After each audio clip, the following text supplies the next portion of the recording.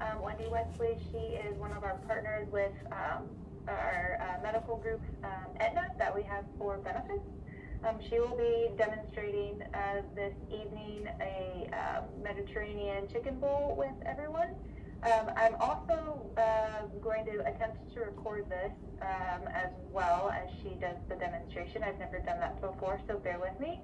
Um, during the demonstration, she will uh, ask a few um, questions. Feel free, just nutrition trivia questions, feel free to pop your answers in the chat. If you do have any other questions at all during the demonstration, feel free to come off mute um, and ask away. And with that being said, I'm going to go ahead and turn it over to um, Wendy. Recording in progress. Mm, I think I'll, um, I'll say got it on the screen so that I can see everybody. Okay, my name is uh, Wendy Wesley. I'm a registered and licensed dietitian nutritionist, and I'm here in my kitchen in St. Petersburg, Florida. And um, as a dietitian, my overarching goal is to get people back into the kitchen. Uh, during the pandemic, a lot of folks um, used Uber Eats and DoorDash and uh, other kind of meal delivery services. I work with a lot of people who are a little who got a little hooked on them, and they say, I, just I for my budget and for my health, I want to get back to home cooking. And so I spend a lot of my time developing recipes that are very, very easy, um, using lots of um, pantry staples no weird ingredients, no special esoteric stuff, just basic stuff. I specialize in high fiber, high color, nutrient dense foods with the idea that you are going to eat this nutrient dense food and you're not going to be hungry for hours and hours. And um, that is how I help people lose weight, manage weight, manage diabetes, um, kidney disease, lower cholesterol, is with high fiber, high nutrient foods. So you're going around nourished, full, and not going back after those snacks that are uh, often made with refined flours and added sugars. I call it you step on the sugar train and you are chasing sugar all day long or the flour train and you're chasing that refined flour all day long. And so how do we do this? We um, learn to recognize ultra processed foods, learn to recognize refined flours, added sugars, and work them out of our diets. And then what do we do? We what do we replace it with? It's, i can't just tell you to get rid of it. I have to help you with what do you replace it with? And you bring in nutrient dense foods um, that are minimally processed, getting away from those refined flours and added sugars. So today I'm making, I, I, love Mediterranean cooking. Greek and Mediterranean cooking is my favorite kind of cooking. I'm from the Tampa Bay area, raised on a lot, I'm not Greek, but raised on a lot of Greek food because of our strong Greek influence here in Tampa Bay through Tarpon Springs. And I just find it is the best way to eat. And every year, every January, the Mediterranean diet is rated the number one diet. And it's because the nutrients are very high, the color is very high, the fiber is very high, and it is minimally processed. Um, it is not the never-ending pasta bowl at the Olive Garden. A lot of people say, so I get to eat unlimited pasta and bread on the Mediterranean diet. And really, the Mediterranean diet is very, very vegetable, very, very plant heavy. Um, fruits, vegetables, nuts, seeds, beans, legumes, and whole grains, some seafood, um, and some poultry. So um, I am going, the first thing I'm going to start with is uh, I'm going to do a half a breast of, um, this is chicken breast, boneless, skinless chicken breast that um, I got on sale at Publix. Sometimes Publix will have um, this on sale. I do, when they do have it on sale and it's in bulk, I do recommend you buy it and then you freeze the portions that you would need for your family. For me, um, it's just me and my son. I can get away with one chicken breast for a meal. I know that doesn't sound like much, but I am supplementing with some plant proteins. As you'll see tonight with the bowl, I'm going to add some chickpeas. So we're gonna have some animal protein, but we're also going to put in some plant protein, and that is going to give us that fiber and those micronutrients that we need. Um, I, am not vegetarian or vegan, but I find as I go through time, I learn more and more about nutrition and I get older, I am eating more plant proteins and fewer animal proteins. And the reason is because one is cost. Two is fiber, trying to always, always increase my fiber. And three is to increase nutrient density and color. And where we see those beautiful colors, and you'll see the bowl tonight is just gonna have beautiful colors, that's where you find antioxidants, those phytonutrients that are shown to prevent Alzheimer's, dementia, and some cancers. So again, not just the benefits of fiber, but also the benefits of all of those minerals, vitamins, other phyto, other uh, nutrients found in plants that are not found in animal proteins. Not throwing animal proteins under the bus. I am preparing them right now. But as we move along, maybe finding ways to eat fewer animal proteins and more plant proteins. I am using a plastic cutting board on top of my wood cutting board. Now I have this wood cutting board here and it is just, it, it doesn't move. This wood cutting board is always out and it is one of the things I recommend that you think about if you want to do more home cooking is just to get yourself a big old hunk of wood, a big cutting board. The bigger, the better and the heavier the better and i definitely recommend you do um, you it be made out of wood and you do the vast majority of your cutting on a wood surface. It is just so much better on the knife. It is just a, just a much safer way to prepare foods. And um, the only thing i do not cut on my wood cutting board is raw meats um, will I, do I cook, do I cut some, some cooked meats on my cutting board? Um, I'm guilty as charged, but I will not cut, cut raw meats on my uh, cutting board, my wood cutting board. Um, let's see. So what I'm doing is I am cutting these pieces of chicken into bite-sized pieces. And the reason I'm doing bite-sized pieces is when I do a bowl, I want every, I don't want you to have to have to have to, excuse me, have a knife and a fork. Um, I want you to just have a fork or if you're really fancy, the way I like to eat a bowl is with chopsticks. And um, so because of that, I like to make these pieces all bite-sized. Also, I've tried to make them uniform in size because when, when they cook, and they will cook up really, really fast, um, I want them, I don't want some to cook really fast and then they get rough and tough and rubbery and then the other ones take a bit longer. So I'm trying to, I tried to cut all of the chicken into kind of the same bite size and these will shrink up as they cook. So I'm putting these in a bowl and then I'm gonna make a quick marinade. Not even gonna, I'm not one for measuring. I'm just gonna, um, when I turn this upside down, I count one second. That is one tablespoon through this spout. So one, two. That's two tablespoons of oil. I'm not pulling out measuring spoons. I'm not pulling out measuring cups. Do you know why? Because I have to wash that. And it is Tuesday night and I've worked all day and the last thing I wanna do is a whole sink full of dishes. So if the more you can just uh, guesstimate, estimate, use some of your simple kind of tools like that one I just used so that you don't have to wash a bunch of darn dishes. Who wants to do dishes? Not me. So I've got some garlic powder. Garlic powder is one of my favorite go-to things in the kitchen. It contains no salt. Now I'm going to add some salt, but um, I really like the flavor of garlic. I use fresh garlic and I will use that fresh garlic in the tzatziki I'm about to make in a minute because it makes all the difference. But to save time and to not kill myself, sometimes I just use good old fashioned garlic powder. It's okay. Again, no measuring, just shake it on. I'm gonna shake on some salt, boom, boom, boom. How much salt? A little bit of salt. I don't know. If you really want to measure, that's okay. I work with a lot of people who just feel more comfortable measuring and that's okay. How much salt? Half a teaspoon. Um, that's the only one you really kind of have to worry about because you can over salt this if you if you went crazy with the salt. And then this is dried oregano. So oil, let's see, oil, dried oregano, garlic powder, salt, oh, and some black pepper. Just a little bit of fresh black pepper. Um, and so stirring that up, letting it sit for a little bit. What the salt is, I just lost a piece of chicken.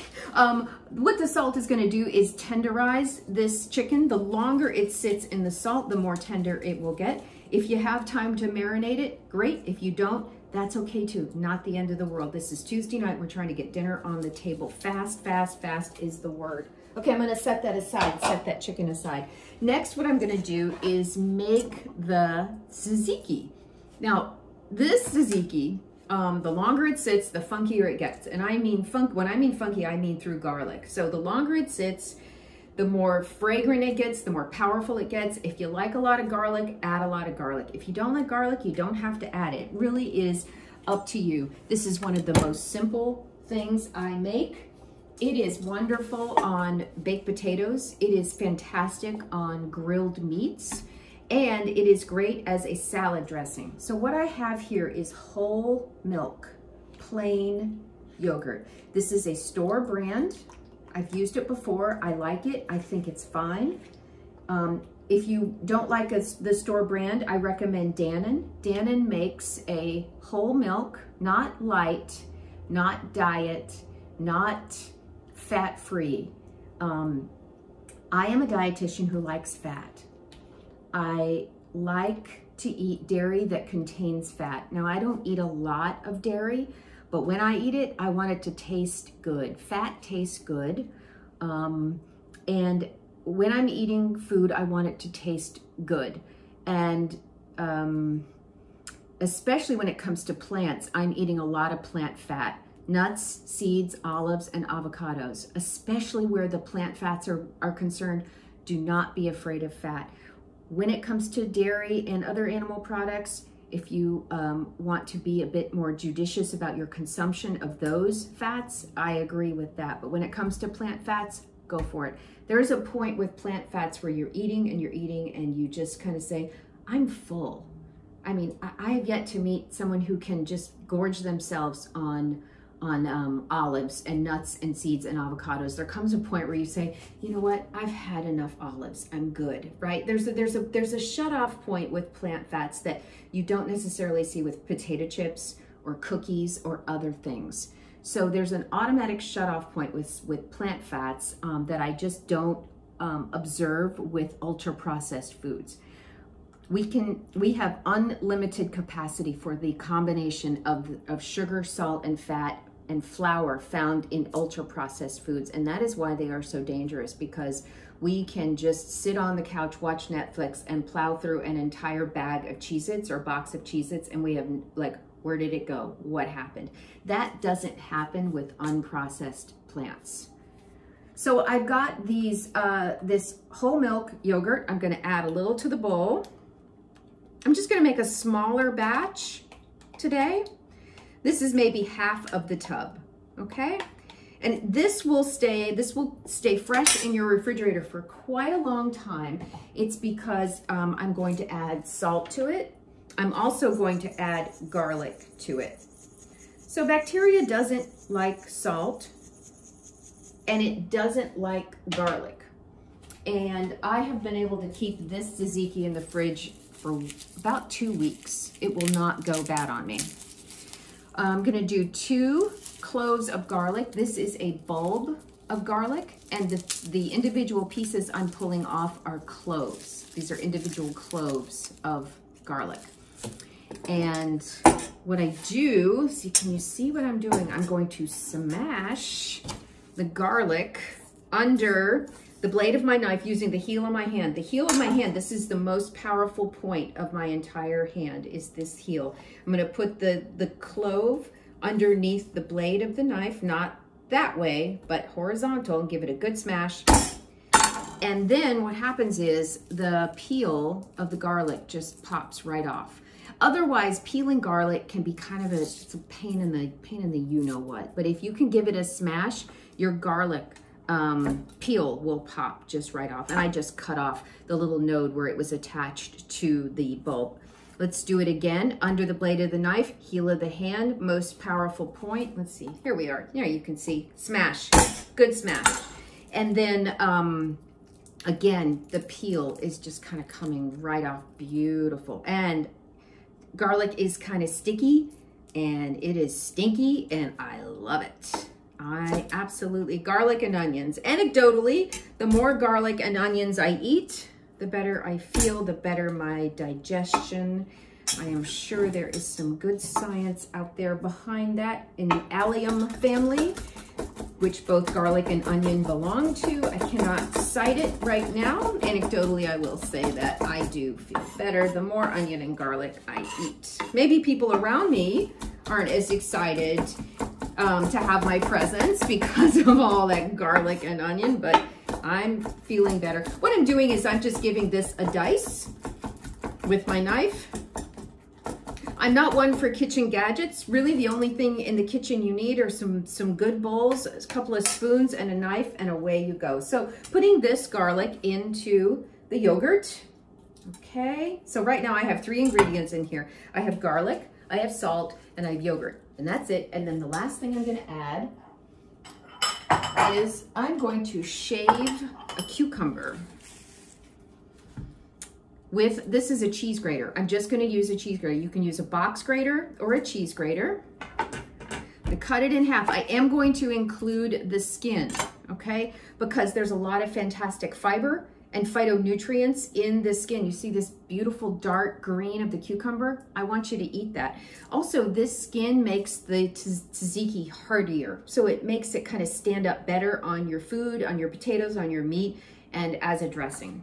So in the bowl, I am grating the cucumber. Now, a cucumber is a lot, it's technically a melon. I don't know if you knew that. It has a lot of water in it. And the thing, I what a, the most important thing to know about making this tzatziki is that I need to squeeze all the water, not all the water, but as much water as I can out of this cucumber.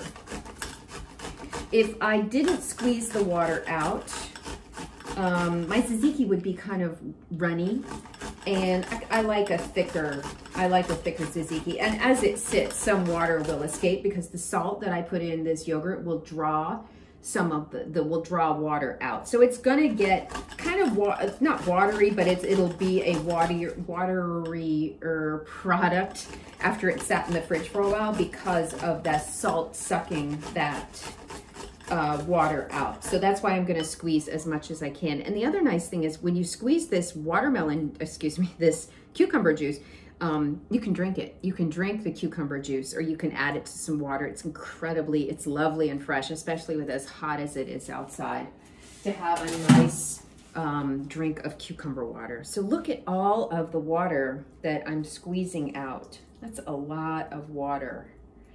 I'm leaving the seeds in good fiber. Um, you will hear me say the word fiber probably 500 times in this presentation. Um,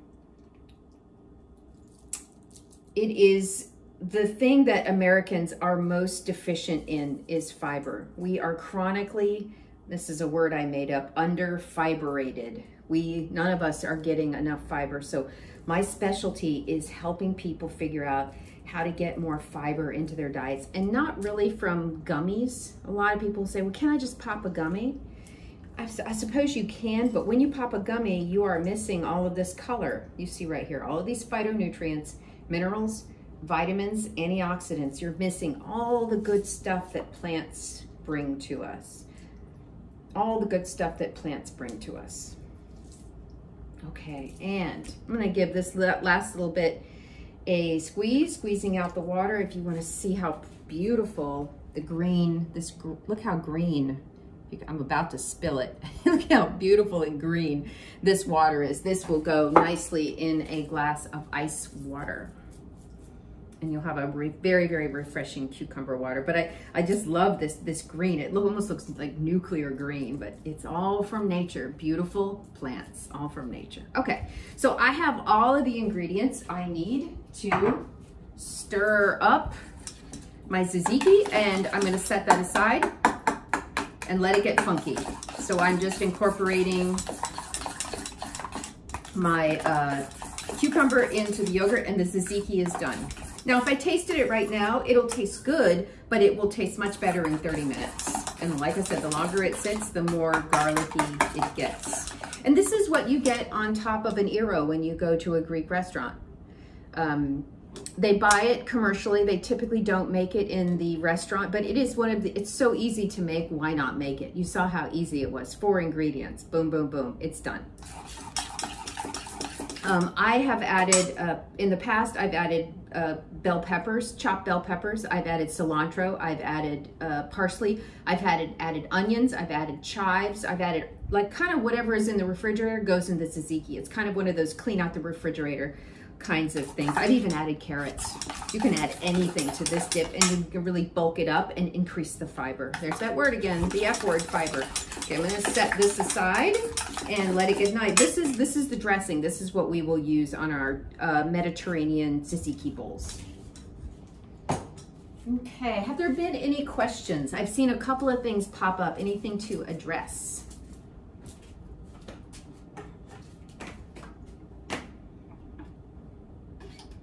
There's one question in the chat. It says, have you ever added spices to the tzatziki sauce? Um, I have added some turmeric in the past, and I've added some coriander and um, cumin, and I could have, I should probably add black pepper. But you can absolutely add um, uh, spices to it. I'm gonna add some black pepper while my pan, while my, my burner heats up.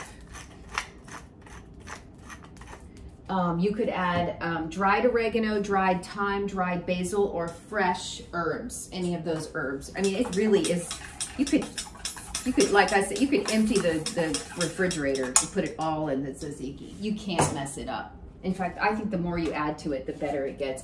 I am going to cook this chicken in my cast iron pan. You do not have to use a cast iron pan. You can use a stainless steel pan or you can use a non-stick pan, but I just kind of like the, um, I just, I just love to cook meats in the cast iron pan. So um, this is heating up. I'm gonna set this aside. I've put it on high. Couple of things with um, cast iron. You never put, and this really goes for any kind of pan, you never put cold food in a cold pan, I'm, especially when you're cooking proteins. Um, I want you to heat the pan up all the way and get a little bit of oil going in here.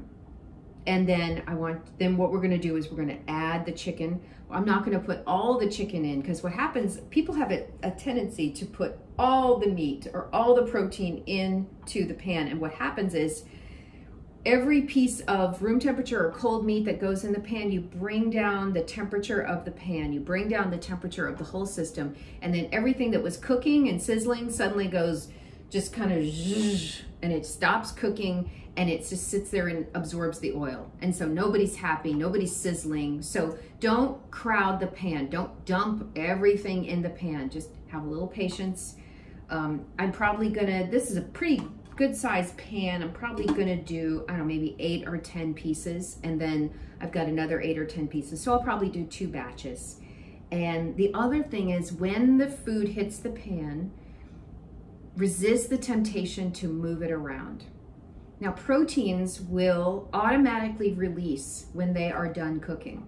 If you go in and you try and flip up that piece of chicken, I'll go in and I'll try and flip it and it will resist. It'll say, uh-uh, I'm not done cooking. I am not done cooking, leave me alone. You leave it alone. And when the proteins are done, they will release. And then you will be easy, it'll be easy for you to flip them over. So two things, don't crowd the pan. And then the other rule I stole from Bobby Flay, this is his rule, let the pan do the work. Resist the temptation to move and shuffle and zhuzh things around.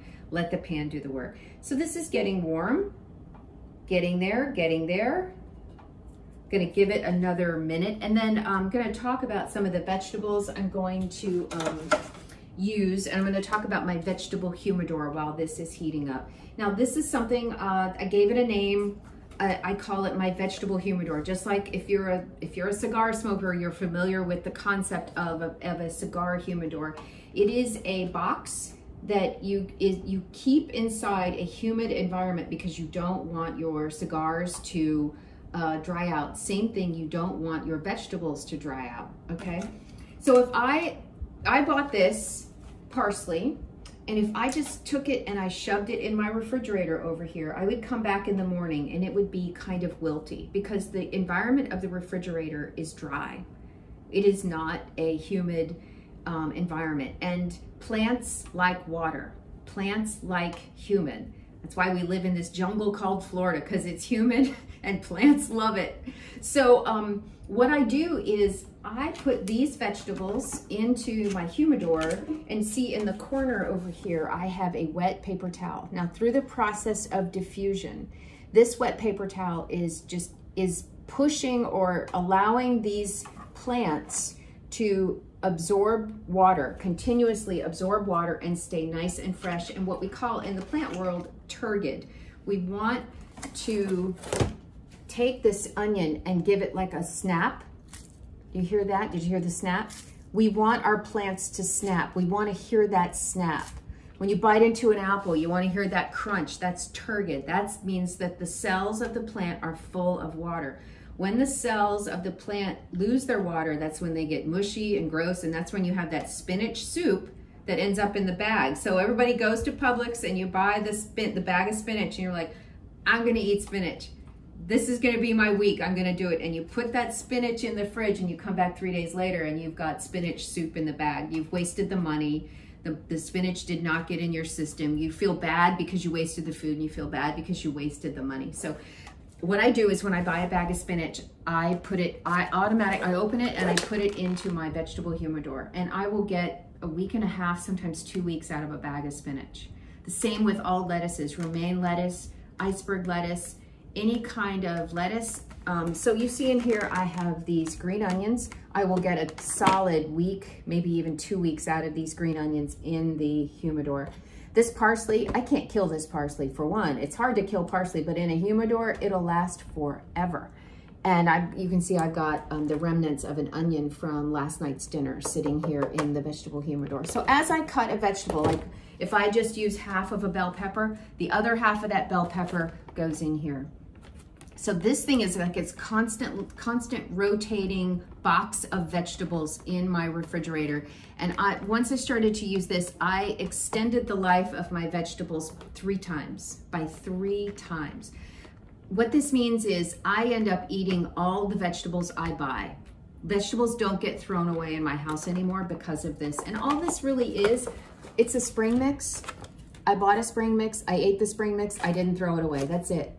So if you get one thing from me tonight, get yourself a vegetable humidor and start keeping your vegetables in this thing. You will save so much money and you will eat so many more vegetables, which I assume is a goal for a lot of people when they go to the grocery store. They're like, I'm gonna, I'm gonna turn over a new leaf, I'm gonna eat more vegetables. This is one way to actually make it happen. So I'm gonna get a little bit of oil going in my pan. Not too much, I don't need it because my cast iron pan is gonna be hot and a cast iron. I have a quick question. Yeah. Actually, a few quick questions. Yes, of Um, course. How hot uh, should um, we have the pan if we're cooking at home? What temperature, like dial on a stove? Yeah, well, I've got this on high, and I've got it on high because I am cooking in a cast iron pan. If you're doing stainless steel, I'd say medium high, but the test, the true test is how fast does the oil run across the surface of the pan? And I'm about to test this. So what I want, when, when the oil is ready, it's gonna move really fast across the surface of the pan when I tilt it. And it's moving kind of slow. Too, that's too slow for my comfort. I want it to move faster. So that's a that's a real nice trick. Is it does your oil move fast? So heat up the pan first, then the oil. Test it. Does it move fast across the surface? Then put put a test piece of meat in. It should sizzle. I'm think, I'm thinking if I put meat in this, it's not gonna sizzle. And then we had a few other questions Yep. come in. One is, um, so the, the paper towel that is in the hum- humidifier, Yep. humidor, sorry, Humidor, Uh, vegetable humidor. that one that you keep wet. Yes, yeah. Um, it's not it's not sopping wet, but it's it's certainly more than damp. Okay. More than damp. And Yep. then how often do you change that? Um, it stays pretty wet because the vegetables have water, the paper towel has water, and they're- they're kind of like they're they're all kind of keeping everybody nice and humid. So it's a closed system. That's the thing. You got to make sure your lid is on. If your lid is cracked open, it won't work. So you got to keep your lid down and nice and tight. And what we have is we have a closed system. Everybody in here, it's a rainforest in here. and then the last um, question is that that box of vegetables you keep in the refrigerator. refrigerator. Is that correct? Definitely. Oh, I'm glad you said that. Okay, here's the other thing. This, the vegetable humidor sits at eye level in their fridge. Eye level, not, so what we, what, here's the thing. Everybody's got them and they're called the drawers of death. It's where good produce goes to die. You spend a lot of money and you shove your produce in there and it gets all gnarly and nasty and you don't eat it. Those are called the drawers of death. And so what, what you do is you open your refrigerator and this thing confronts you every time you order, you open your refrigerator. Okay? This is one hack to eat more vegetables. Because when it's out of sight, out of mind, you forget. Oh, that's right. I did buy some bell peppers. I was going to put those in my eggs. I bought some green onions. I was going to make an omelet. Blah. I bought some mushrooms. Blah, blah, blah. I was going to do some cool stuff with those vegetables. When they're at eye level, they're confronting you. They're right in your face like, hey, you spent a lot of money on us. You want to eat better. You want to eat healthy. Here we are. Figure it out. So it's kind of a way to force yourself to eat vegetables, which is what you want. I assume is what you want to do anyway. So in my pan, I have, know, about 10 pieces. Chicken breast cooks up fast. It is boneless, so boneless meat cooks faster than meat with a bone. So if you, now we've got these, these wonderful new boneless chicken thighs, which I think are a fantastic product. The cook time on them is much lower than um, chicken thighs with the bone in. So all meat that has a bone requires more cooking time. Okay? So, okay, so here's one piece of chicken. I don't have to fight with it. It is releasing and I'm flipping it over. And what I have on it, I'm gonna show you, bring it up real kind of close to the camera if you can see it. See the kind of sear, that kind of nice brown on it? We've got that nice brown. That's what we're looking for, that nice brown. So when you go to a restaurant and they, you know, they bring you this nice chicken and it has this nice brown, this is, this is what they're doing. They're letting it sit in the pan. They're not forcing it. They're using a nice higher temperature. They're not moving it around. Um, that's another secret with uh, with hamburgers is you put them on the grill and you just, just don't touch them. Let them do their thing. Don't move them around. Let them sit and sear and do their thing. And all of these pieces, I'm not fighting with them. They're they're cooking. They're finished. They're easy to flip. Don't overcook chicken. I mean, it's very, very tempting to overcook it, but once you take it out of the pan, it will continue to cook. And, and chicken is, especially this little pieces of chicken breast, cooks very, very quickly. So try not to overcook it. It'll just kind of get rubbery and tough. If you wanted to use a non-stick pan, you can. The only problem with non-stick pans, you can't get them like hot, hot, like this guy is. This is a hot, hot pan you can do that with stainless steel. So I recommend cast iron, stainless steel, but if you don't have that, um, non-stick works fine too. You just can't get it like hot, hot, uh, the way I have this right now. Maybe one more minute and I'll do the, the last batch of chicken. Like I said, I'm doing a very small little bit of chicken because uh, just I'm just, I like, I like chicken, I like animal proteins. I'm just trying to consume less of it. And then by magic, it's not, not magic, but it, it is, it's a trick. When you consume less animal proteins, you have to make up for it somewhere, and that comes to you from plants.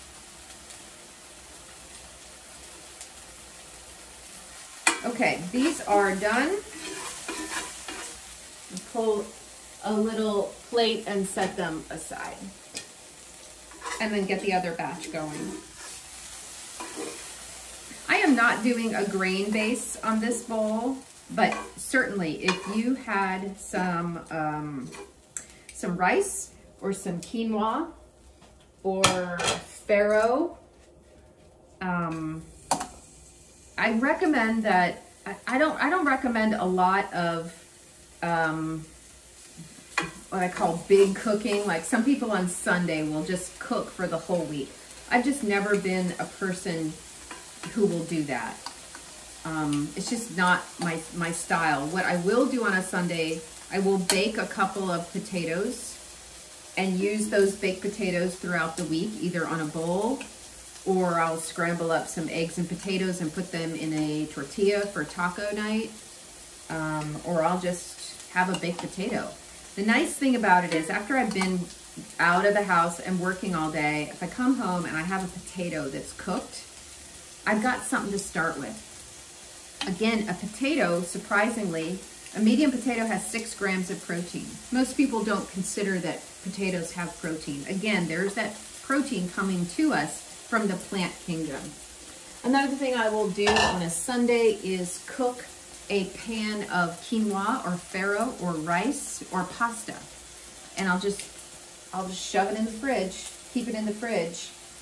And again, when I come home from work, if I've been out of the house all day, if I have a, maybe I've got a rotisserie chicken in the fridge and some cooked quinoa, I am 75% done with dinner.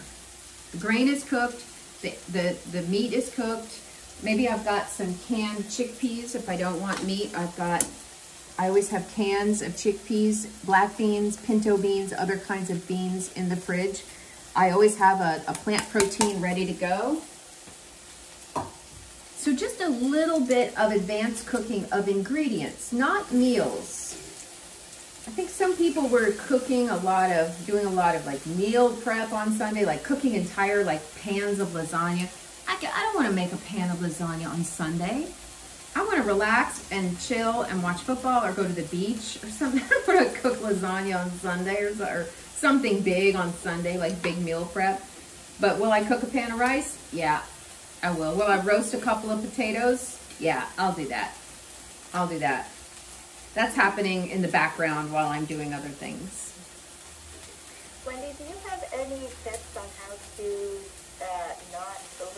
or chicken? Just any tips with cooking chicken to make it where it needs to be? Yeah. Um, for instance, I just, this little piece has got, I don't know if you can see, it's got a little bit of pink on the inside. Of course, it's pink over here. Um, all of these pieces, I can see just a little bit of pink and I'm watching the sides of the pieces of the chicken. Now these are small pieces of chicken. That's why I did them small, so they'll cook fast. I'm, but I'm watching the sides for the pink to disappear. And then I know that the center, I'm not worried about the center because this chicken will continue to cook even after I remove it from the pan. I see a little bit of pink on this guy. I'm gonna let him sit. So I'm watching the sides for pink. And when I, on the sides, when I see no more pink, or no more, I guess, I guess is the term, not opa opacity, because opaque is solid, but translucence, I'm looking for translucency. Now fish, if this is fish, the cook time is half. I mean, fish cooks, fish and shrimp cook so fast. When you go to a restaurant, and the fish tastes amazing and the shrimp is perfect, it's because they know when to take that stuff out of the pan. And it typically was three or four minutes ago, right? we all have a tendency to overcook shrimp and fish. It, it's, it, I've had to practice a lot to say, take it out of the pan, take it out of the pan right now because shrimp and fish cooks so fast. And then second on the list is chicken. Chicken cooks very fast. So this is very, very, this is pretty chicken. I can see the pepper and the oregano. I've got, it's kind of shiny from the oil. Um, I've got nice brown sear on it. And again, as even after I remove it from the pan, I know it will continue to, to cook. And when I eat it in my bowl, I know it's gonna be nice and tender and not rubbery. So nice and, nice and pretty chicken. Nice and pretty chicken there. Pretty chicken. Okay, let me set that aside. I'll put a, I'll put a, um, a dish towel over it to keep it warm. And that'll also help it continue to cook. It'll continue to cook underneath the dish towel. So again, I just have a little dish towel and I'm gonna cover my chicken with it. Will my dish towel get a little chicken ick on it? Maybe, but that's what that's what washing machines are for. Dish towels are one of those indispensable things in the kitchen that you just, I'm always covering food to let it sit so it can nice, stay nice and warm. That thing is hot. Let me get my pot holder so I can get it out of the way. Woo! It does take a lot of heat to bring a cast iron pan up to temperature, but once you get it going, man. Um, and then I, uh, of course, I'm sure you've heard about cast iron. Um, punishable by death. To put it in the dishwasher or put soap in it. Do not mess with my cast iron pan. I have two. I have big and little. and they are, um, the big one is always out on the stove because I'm constantly, constantly using it. What I will do is when it cools off, I will um, wipe it down with a paper towel, get all the kind of the, the little bits out of it, and um, or I'll rinse it with some hot water to clean it that way, but no, absolutely no detergents. How are we doing on time? Got a little bit of time. So now let's get to the vegetable prep. Did you know that bell peppers have, uh, are male and female? I just, I learned this about, um, about six, six, eight months ago. This bell pepper has three lobes, one, two, three, and it is a female. It's a female bell pepper. And this bell pepper is has four lobes, one, two, three, four, and it's a male bell pepper. And I saw this cool hack on TikTok for cutting bell peppers. I'm gonna share it with you right this minute. So with my trusty knife, gonna cut off the top because when I teach vegetable prep, one thing I teach is gotta cut flat. We've got to create a flat surface because when we cut flat, we cut safe.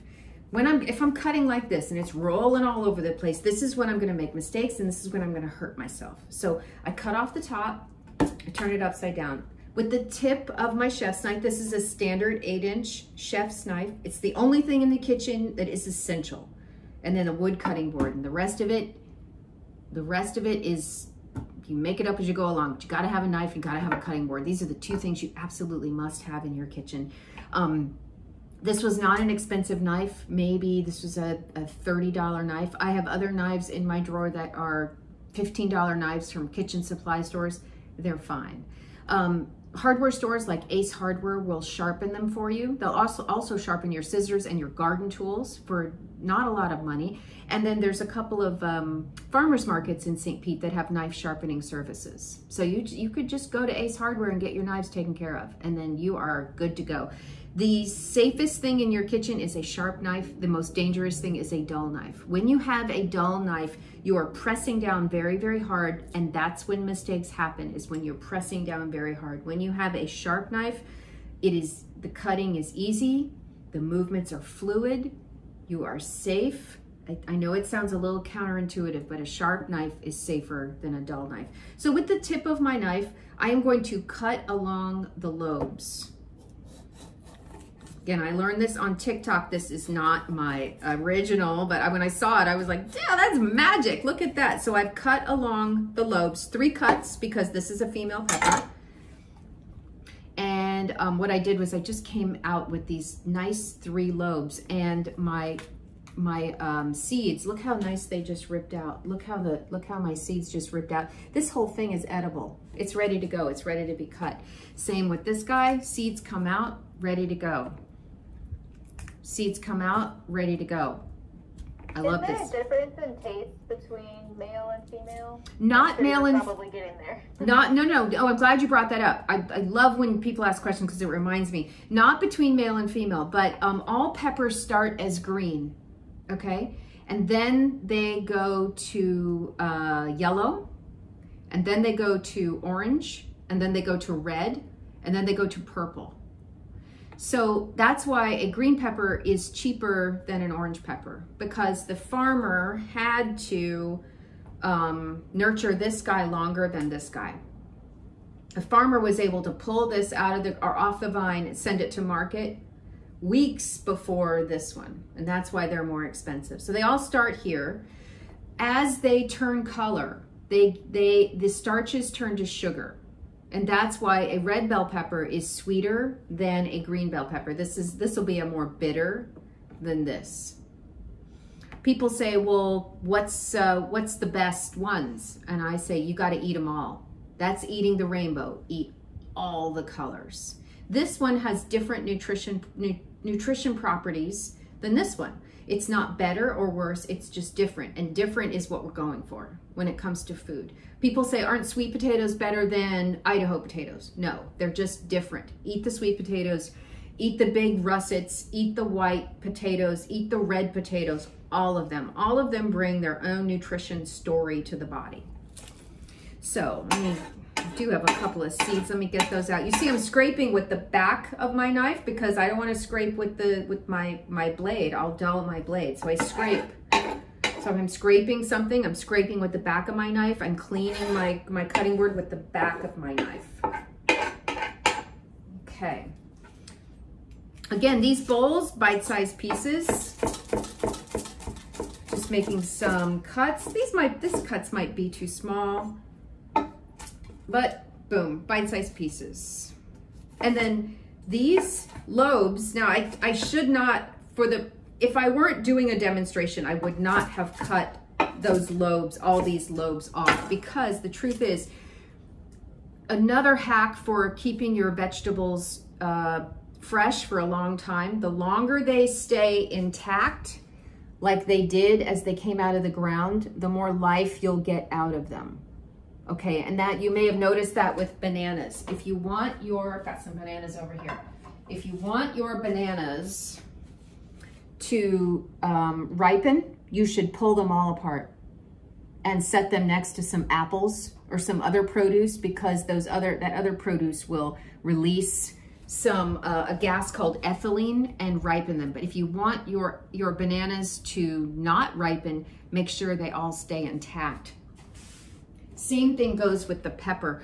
If I wanted the max life out of this pepper, I would not have done what I did. I would have kept it all intact and then I would have greater life out of the pepper. So don't cut up all your vegetables and put them in the humidor. Keep them as, as intact as you can for, for longer shelf life.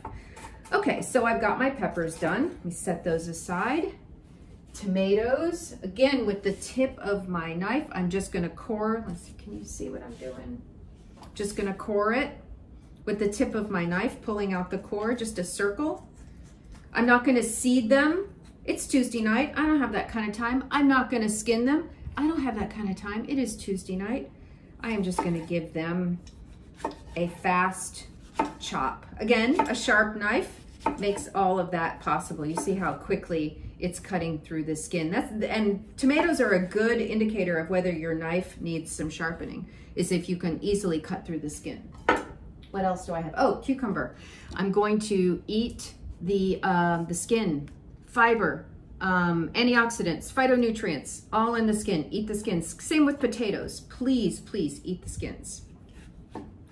Cut this guy in half. Again, bite-sized pieces. The other nice thing about the vegetable humidor is that you pull the humidor out and all your vegetables are in there. You don't have to go rummaging through all these different areas of your fridge. Again, this makes um, dinner prep much, much faster. Okay, so got my cucumber, what else?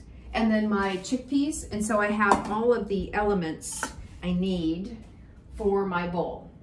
Now we're gonna assemble the bowl. How are we doing on time? Oh, getting there.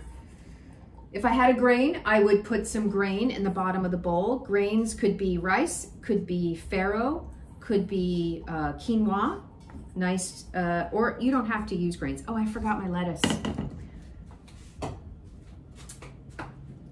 I'm gonna use, um, don't judge, I'm gonna use iceberg. Iceberg was on sale today.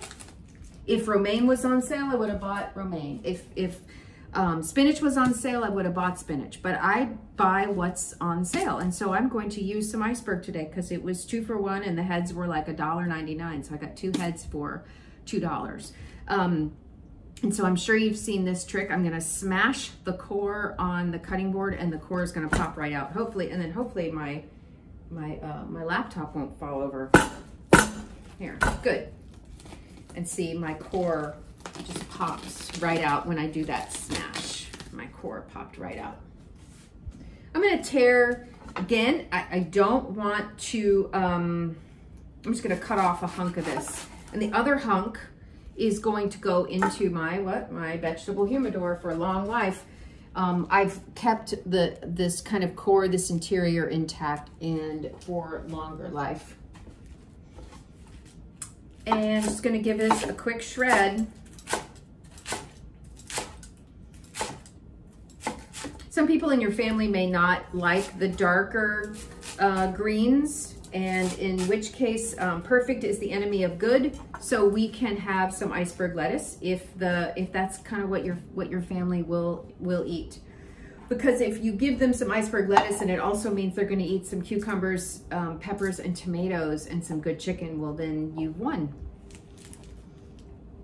So th things don't have to be perfect. So I've got a bed of lettuce. This could also be uh, purple cabbage is, is great. Purple cabbage would be great or a coleslaw mix without the coleslaw dressing. I love a coleslaw mix.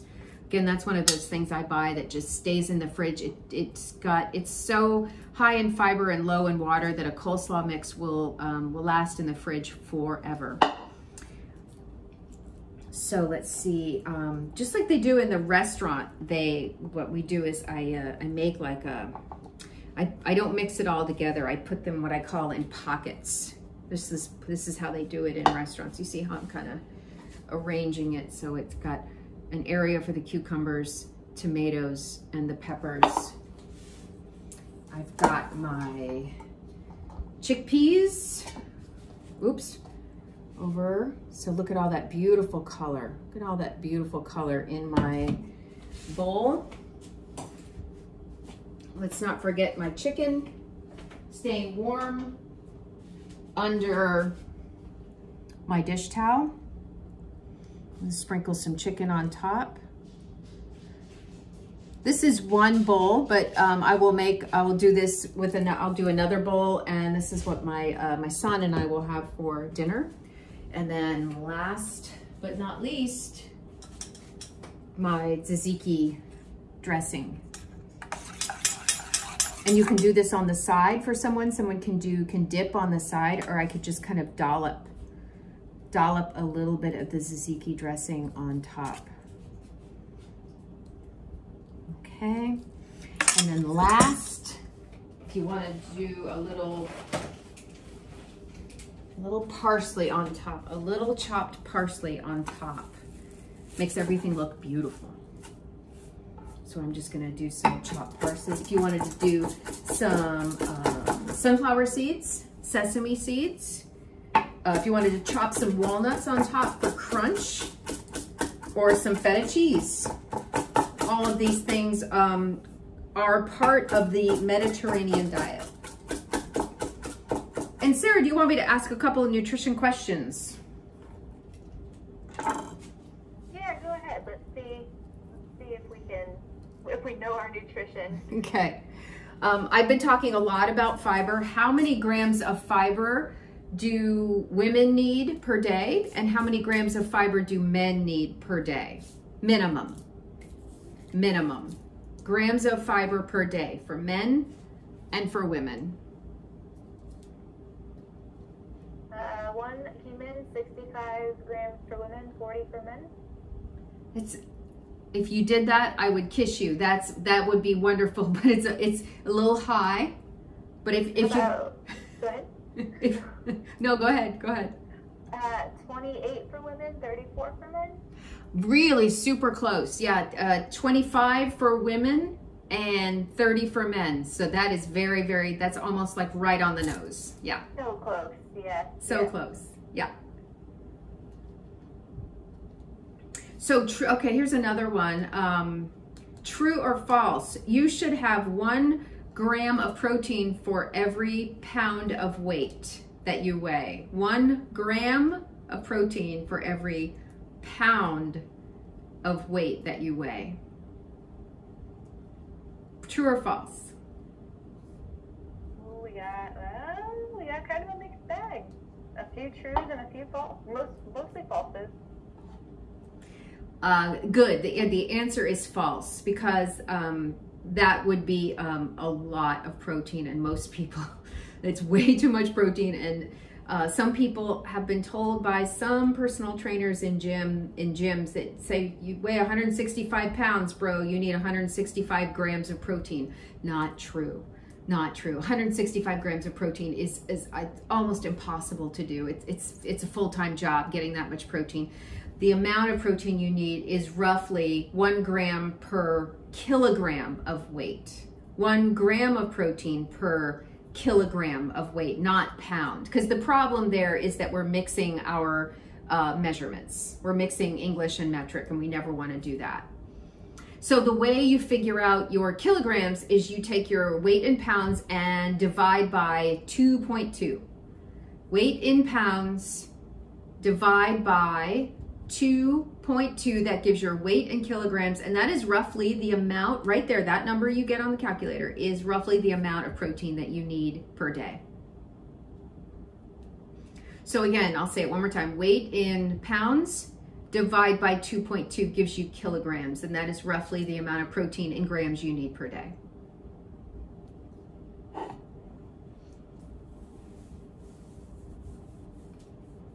Um, That's good to know. Actually. Yeah, and I and I'll cl- I'll close. I think I'm right up in time. I'll close. I'll take questions, but I just wanted to say that um, we Americans are constantly being sold protein, and I believe that big food has created a big fear around that they they've got us thinking that we are not re- receiving enough protein. We're not getting enough protein. And the truth is that most Americans are easily meeting their protein needs without try without having protein packed shakes and powders and other foods. None of us are meeting our minimum needs for fiber. None of us. None of us. And so that's really where I think in the next five to 10 years, fiber is going to be the star of the show. The best way to get fiber is here. The best way to get fiber is through food, uh, not through gummies, not through powders. Um, if you've got some severe constipation or you, your, your GI doctor will recommend uh, some powders. But if you're kind of functioning and you want to lower cholesterol, you want to be more full, maybe lose weight, um, certainly ramp up your nutrition. You will get it by consuming plants, and plants are where the fiber is found. This has been amazing. We have had a few questions trickle in. Mm-hmm. Um, one is uh, we would love to learn about washing produce and what the recommenda- recommendations are for that. Okay. Um, there are produce washes out there. I, I haven't tried them, but um, the recommendation is that we just wash maybe with a uh, little bit of cool or warm water before serving and dry.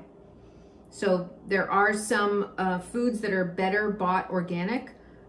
You can find those online, the Clean 15 and the Does, Dirty Dozen if you want to find a list of foods that are best purchased organic. Um, I'm, I'm, also, I'm always very careful with organic. I think that organic, I call it a dirty word because it creates a two-tiered food system. Um, I've had people say, well, I cannot afford organic, so I'm just not going to eat fruits and vegetables at all. And the, the healthcare professional in me, the dietitian in me says, no, no, no, no, no. Let's not, um, let's not make organic create this this kind of go or no go when it goes when it comes to plants. We should all eat plants, whether they're organic, fresh, frozen, canned, I don't care. People say, "Wendy, what's the best vegetable?" And the answer is the one that gets in your stomach. That's the best vegetable, the one that makes it into your stomach. And that has to do with your cooking style, your budget, your storage style, your preferences, whatever. So no judgment in the vegetable world, just eat them. Eat plants. I love that. We also had another question roll in. Um, if you are diabetic, how much fruit should um, someone have? Oh, okay. Um, with you know, with a diabetes diagnosis, um, there are some vegetables, or excuse me, there are some fruits that are lower in carbohydrates than others. Like bananas are one of are the vegetables of the higher carbohydrates, higher starches. Uh, berries are lower. So for people who have who don't have diabetes, I say unlimited fruit. Go for it. There's a point with with cantaloupe where you go, I'm done. I've I've had my fill of cantaloupe, right? I don't find that people gorge themselves on fruit. There's a shut off, and it's it's because of fiber, and it's because of carbohydrates, and it's because of water. There's a lot of water in fruit. But um, when it comes to um, folks who have diabetes, uh, they do need to watch for fruit. Um, more, insi more insidiously for folks with diabetes is refined flour and added sugar. That is that is the most dangerous thing for a person who has diabetes are the ultra processed foods with refined white flours and added sugars. Fruit is less of a concern. It is a concern, but it is not the concern that ultra processed foods are for people with diabetes. That makes sense. Awesome. We have a lot of thank yous, and everyone's looking forward to trying this recipe. We have a few photos of people that um, were able to make the recipe Mm-hmm. as well in the comments. This has been great. Good. Good. Thank you. Been a very nice audience. Um, any any questions, you can um, forward them um, on to Sarah or Bianca, and I'm happy to answer them. Or I'll I'll stay on if you want to ask something, you know, kind of more private. That'll be fine too.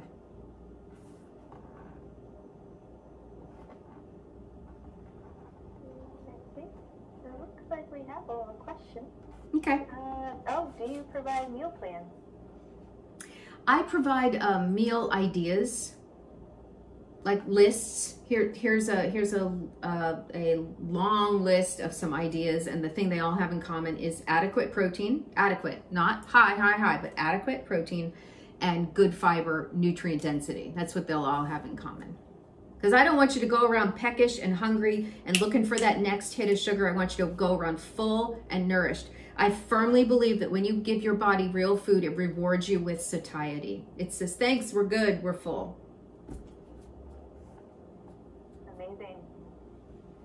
All right. It looks like the majority of our crowd has left, uh, but th- this has been phenomenal, Wendy. Uh, you put on a really great um, performance. I will actually end the recording Okay. and hopefully we end it. Recording Figure, stopped. Figure out how to find it later.